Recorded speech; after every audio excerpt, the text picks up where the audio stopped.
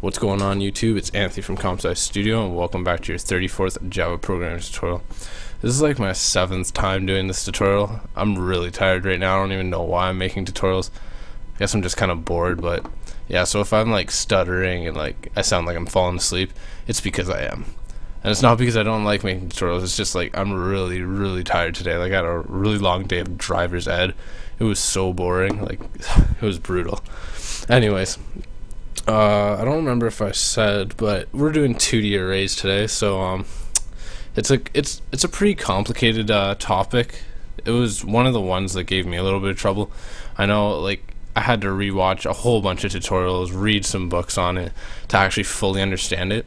So if you guys don't get it right off the bat, um, don't worry about it. Don't get discouraged. Just redo my tutorial a couple times, and then once you feel like you're getting it, um, just make your own tutorial, make your own uh, program, sorry, and uh, try and expand your knowledge that way. And if you guys get it right off the bat, congratulations, you are a genius. Because I don't know anyone who gets it right off the bat. So first off, I'm just gonna refresh your knowledge on how to make a one-dimensional array.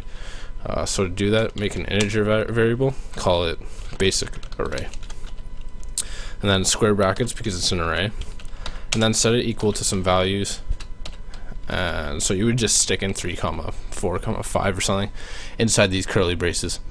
So this isn't part of the tutorial. I was just trying to refresh your uh, memory on how to make a basic array before we get into 2D arrays again. So let's get rid of that. Next thing we're just we're gonna make an integer um, 2D array. So just write int. Next thing we're gonna name our uh, 2D array. We'll call it the array. Really really um special name you know the array and then instead of having one set of square brackets we're gonna have two sets of square brackets because it's a two-dimensional array. I'll clear up uh, why we actually use um yeah I'll just clear up uh, why we use uh, two sets of square brackets in the next tutorial. It'll make more sense later on. Uh, so next thing you want to do is you're going to want to set some values to this 2D array. In order to do this you need to put down a set of curly braces. Then inside those curly braces you have another set put a comma, and then another set. Now that's probably kind of confusing, but okay, just think of it this way. Don't think about it. Yep, just don't think about it. I'll just do it, and then um, I'll explain why after we do it this way, and it'll make a lot more sense. So I'm going to be making a 2 by 2 array. Um, so to make it look more like a two-dimensional array, I just bring this down, I just hit enter, and then I bring this over like that and now I'm just going to add some values into these two curly braces here. So let's put in a 12 and then a 34. And then down here we'll put in a 67 and a 3. Now, in order to reference, you're probably wondering, how the heck do I reference this? Like, remember with a 1D array, we just referenced the first one as 0, the next one as 1, the next one as 2.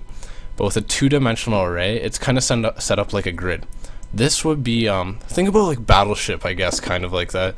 Um this would be position 0 comma 0 because this is row 0 and it's also column 0 this would be row 0 column 1 this would be um row 1 column 0 right? That 67 is row 1 column 0 this one would be row 1 column 1 um so yeah that's kind of that's exactly how you should think about it. So if I just print out something, let's go s out um, the array, whoops, and then I just put down my two square brackets.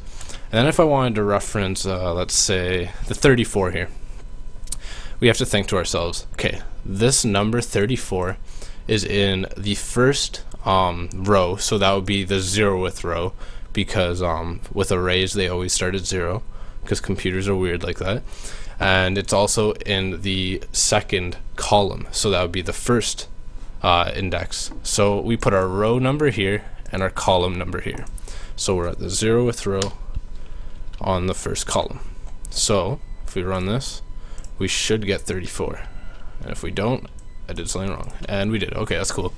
Uh, so if we wanted to reference let's say 67 we're on the first row and well the the second row but that's the first um row index number. So this would be the zeroth row. That would be the uh, first row. I'm probably confusing you guys by saying the second. So I'm just gonna okay. Whenever I reference a number, I'm gonna reference it as it as if it was its index. So this would be zero zero. This would be zero one. This would be um, one zero. This would be one one. So as I said, this one would be one zero sixty seven. All right, and uh, if we wanted to access three, it would be just one one. So you could mess around with this. Like you could even you could actually uh, add in, let's say like that comma three. So this would be um, zero zero. This would be zero one. This would be zero two. This one would be um, one zero, and this one would be one one. So let's access this one out here. This one would be zero two. So we should get a three. Should probably change that to like a 300 or something. So we already got three. And bam, we get 300. So I really recommend this. Set it up as if it was a grid like that and uh, mess around with this. Add your own. You could add as many as uh, values as you want. So I would mess around with that. It's just kind of getting the feel of an actual 2D array. It's kind of weird at the start. And I hope I explained this well enough for you guys. Um, if you have any questions, please email, uh, inbox me or something, or leave a comment in the in the comment box below, and I'll try and get back to you as soon as I can. So uh, comment, rate, and subscribe, and I'll see you guys in the next tutorial.